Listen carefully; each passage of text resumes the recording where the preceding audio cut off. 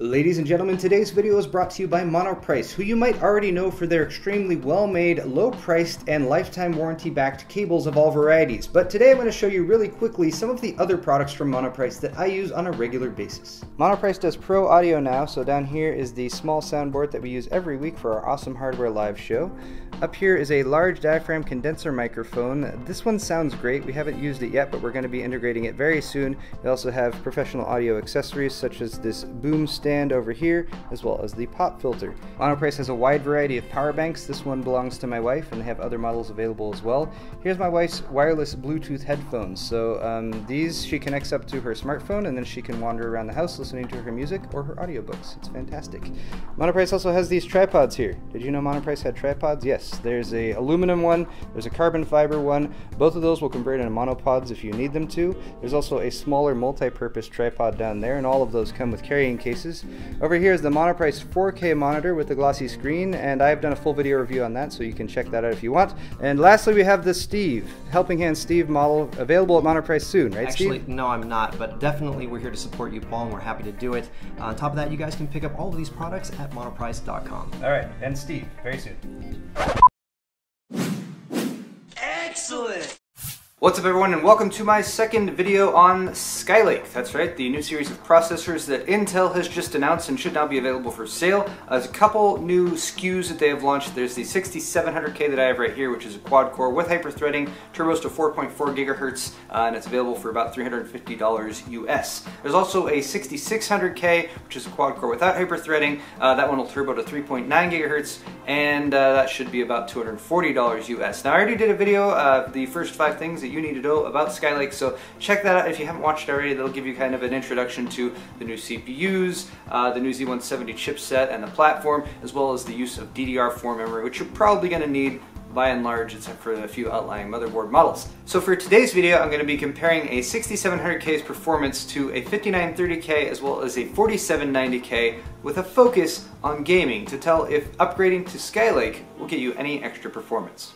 Here's a look at my testing configurations. The goal uh, really was to neutralize any variables, or at least neutralize as many variables as I could in order to really make sure that the testing was between the CPUs and nothing else. So uh, first off, for the uh, video card for all the tests, I'm using the EVGA GTX 980 Ti. This is the SC or superclock version.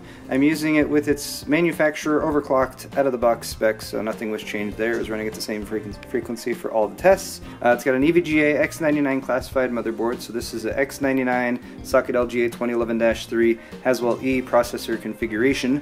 Um, other than that, I have the 5930K right in here. It's being cooled by the uh, Fractal Kelvin uh, 120mm cooler and then making sure things stay comparable between, between the CPUs. All of my CPUs are overclocked to 4.4 gigahertz. So this is a 5930K running at 4.4. Uh, also for all of my three different test beds, I'm running a 16 gig kit of DDR or DDR3 or DDR4 memory, depending what's compatible. So this is a G.Skill Ripjaws 4 kit, uh, 4x4 gigs. 16 gigs total. Uh, this is actually a 2666 kit, but I was running all the memory at 2400 speed.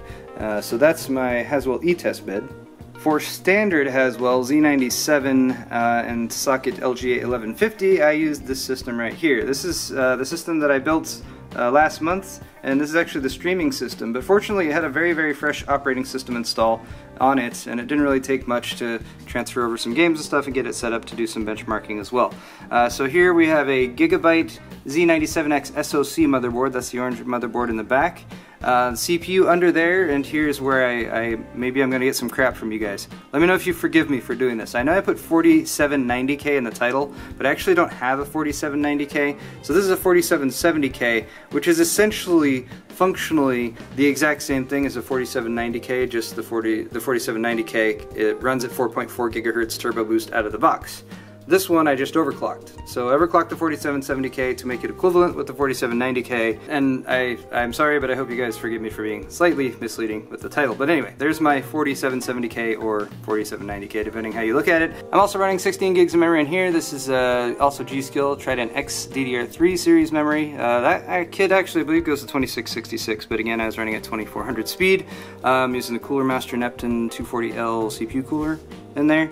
And uh, that's pretty much it. Apart from that, uh, right now it's got a GTX 770 in it, but of course I was running the 980 Ti for the actual tests. And then of course right over here is the main event, although it's less of a main event now because I disassembled this whole thing so I could do video of it and stuff. So either way, let's take a closer look. Uh, mainly what you need to see is right over here. So this is the MSI motherboard I was using for these tests. This is the Z170A Gaming M7. You might have seen this in my introductory video for Skylake, or the first five Skylake things.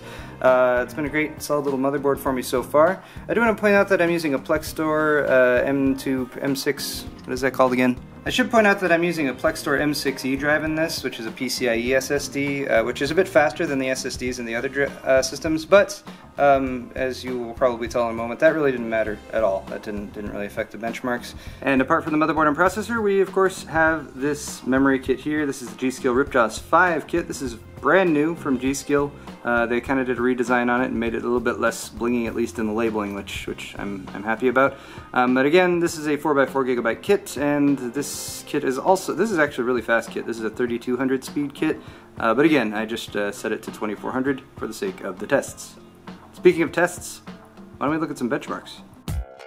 I'm going to talk you guys through these benchmark numbers, although at first glance it might seem like that's not even really necessary. We're looking at Battlefield 4, and if you look at those average benchmark numbers, you might notice that they're all pretty much the same, within about a 3% margin of error. Uh, the 5930K did get a little bit of a boost at 1080, but whether you're gaming at 1080, 1440, or 4K, all these CPUs seem to give you about the same gaming performance. I thought Battlefield 4 might give an edge to the 5930K because it is a bit more good at using multiple CPU cores. However, that didn't seem to pan out. Metro Last Light is next, and again, if you're looking at those average frame rates, not a whole lot of difference. The 5930K did seem to have a little bit of an edge at 1080. I've also included minimum frame rates here. Those do tend to bounce around a lot, but uh, just there for your reference in case you were interested. Bioshock Infinite is next, and since there's not a whole lot to talk about as far as differences between average frame rates, I'm going to talk about power draw. Uh, the 5930K does use a bit more power at about 395 watts peak than the 4770K and the 6700K. However, and I'm going to switch to GTA 5 here as well, the 4770K and 6700K used maybe 20 to 40 watts less, peaking at more like 360 to 380 as I was testing multiple times. Uh, for GTA 5 though, again, benchmarks are all really pretty much in the same ballpark. Uh, just not a whole lot to say as far as differences in frame rates. It doesn't really matter which CPU you go with, you're gonna get good performance. So are any of these graphs gonna show any difference between these CPUs? Well, yes. Uh, here's 3D Mark Firestrike. I saved this one for last because I've also included the physics test numbers, and the physics test is really a CPU-bound test that's just using the CPU. So here we can see the 5930K with its 6 cores pulling out ahead pretty significantly in the physics test both in extreme and ultra mode. As for the 6700K, it did outpace the 4770K, and here's where you can see those instructions per clock, about 10% in performance improvement that you can expect going from Haswell to Skylake. So there you have it folks, proof beyond the shadow of a doubt, or a shadow, a reasonable shadow, a shadow, a reasonably to prove beyond doubt that Skylake is not really required for high-end gaming, even if you're using a high-end graphics card like a GTX 980 Ti. Now, there are other reasons to go for Skylake, other than just gaming. Uh, if you want the new features of the Z170 chipset and the motherboards that go along with it, like USB 3.1 and the connectivity you get with M.2 and all the extra PCI Express lanes on the PCH and that sort of good thing. But don't upgrade to Skylake because you think it's going to get you a lot of extra frames per second. In fact, I would say even if you're going back as far as using Haswell, even Ivy Bridge processors, if you're still on Z77, you're still not going to get that much of a boost by upgrading to the new processor. So upgrade for the right reasons, I guess, is the point of this video, and hopefully you now have a little bit of ammunition to show your friends if they're like, I'm to get Skylake to give myself a bit better gaming performance, because that's really not to happen. Now, I know some of you who are on older platforms, let's say you go further back like Ivy Bridge or even back to Sandy Bridge or prior, are thinking like, well, what about if I'm upgrading from those? Unfortunately, there's some other really, really wise folks on the internet who have done more extensive testing than I have. So I'm to post some links in the description to articles from Tech Report, PC, PC Perspective, as well as Hot Hardware. You guys can check those out, and those will give you some comparisons, even if you're upgrading from like Sandy Bridge or something like that. And honestly, even then, it's not that huge of a jump. But if you're still on Sandy Bridge, I'll say go ahead and upgrade if you're if you're in the mood for it, if you're ready for a new platform, because there's really a lot more performance to be gained. There's a lot more cool new features like uh, PCI Express Gen 3, M.2 connectivity, NVMe, um, USB 3.1. All those are good reasons to upgrade, and uh, if you use your computer a lot and you're ready for an upgrade, I think Skylake is a great way to go. And that is all for this video, folks. If you enjoyed it, don't forget to hit that like button on your way out, and leave me a comment in the comment section. Let me know if you're thinking about upgrading to Skylake. Wouldn't be a bad choice in my personal opinion.